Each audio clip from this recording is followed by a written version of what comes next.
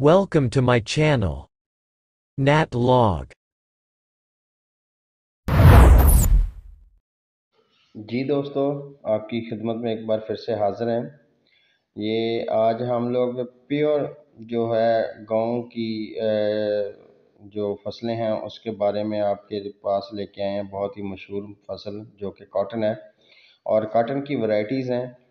جس میں سب سے زیادہ یہ نا جی اس وقت آپ کو جو دکھائی جا رہی ہے یہ دیسی کپاس ہے، یہ سب سے پہلے جی اس کو پھول لگتے ہیں۔ یہ آپ کے سامنے اسکرین پہ پھول نظر آ رہے ہیں خوبصورت ہیں۔ اور یہ جو دیسی کپاس ہے، اس کا یوز جو ہے نا، جو ہم لوگ رضائی اور تلائی اور ساتھ جو جو گدے وغیرہ ہم استعمال کرتے ہیں نیچے بچھانے کے لیے، اس میں استعمال ہوتی ہے، یہ بڑی گرم ہوتی ہے۔ پہلے پھول لگتا ہے اس کے بعد جی یہ اس طرح پنک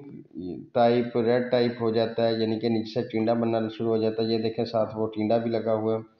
ٹینڈا لگنے کے بعد پھر ناظرین اس کو یہ دیکھیں کپاس کا پھول یعنی کہ پہلے پھر وہ ڈوڈی بن جاتا ہے یعنی کہ پھول جو ہے نا اگلے مراحل پہ چل جاتا ہے ٹینڈا بننے میں ٹھیک ہے جی جیسے پھل تیار ہوتا ہے باقی پھل دار پودوں کا تو اس کا آگے پھل یہ جی کاٹن ہوتی ہے کپاس جو کھل جاتی ہے یہ آپ کے سامنے اب کھلی ہوئی تینوں مراحل یعنی کہ پھول لگنا، اس کا پھر تیار ہو جانا اور پھر اس کے بعد اس کا جو ہے کپاس، جو کاٹن ہے، اس کا کھل جانا۔ اس کے بعد اس کی جی چنائی کی جاتی ہے، ٹھیک ہے، کپاس کی۔ چنائی کے بعد اگلے جو مراحل ہوتے ہیں جی اس کو پنجا کھوایا جاتا ہے، جب بیلا جاتا ہے، اس میں سے اس میں جو ہوتا ہے، بنولا جو ہوتا ہے، وہ کھل بنانے کا کام آتا ہے یا جانوروں کو ڈالنے کے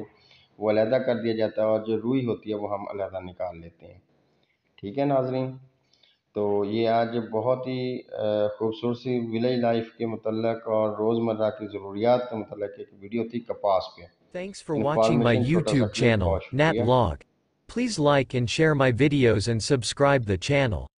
Press the bell icon for latest videos.